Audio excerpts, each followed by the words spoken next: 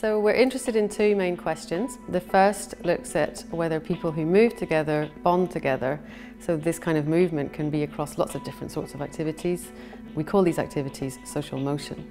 The second question sort of flips things around a little bit and asks, do people perform better when they're in the presence of close and supportive others? And we've dubbed this the social placebo hypothesis. Previous research has shown that moderate intensity exercise, but not low intensity exercise, leads to higher levels of endocannabinoids in the body. Endocannabinoids have positive psychological effects, and they've been linked with social bonding and cooperation. So we ran an experiment in which people rode side by side on rowing machines, either at a moderate intensity, so about at the pace of a jog, or at a low intensity, something like a walk. Following this, they played a game which measured how much they cooperate. What we found was that participants in the moderate intensity condition cooperated significantly more than those in the low intensity condition.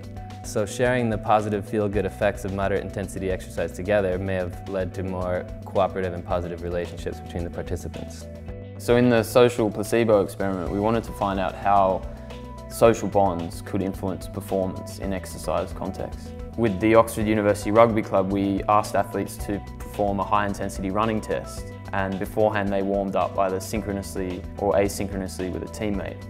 And it's a little bit like the cue of wearing the same shirt or singing the anthem. What we used was synchrony as like a cue for social support. We found that actually in the synchronous condition, um, athletes performed significantly faster in their running test, seven seconds in a four minute test. So it's a, a quite a meaningful result performance wise and may give a bit of a basis to that idea in high level sport that tightly bonded teams are better performing teams. There's a lack of research uh, really looking at the causal mechanisms involved between social motion and social bonding and social well-being more generally.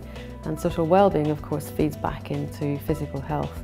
Um, so the more we understand how these things work, um, the more relevant and important and I think really quite valuable our research will be for a much wider audience and for society generally. To find out more and discover other bright ideas, visit Oxford University Social Sciences Division, where ideas have impact.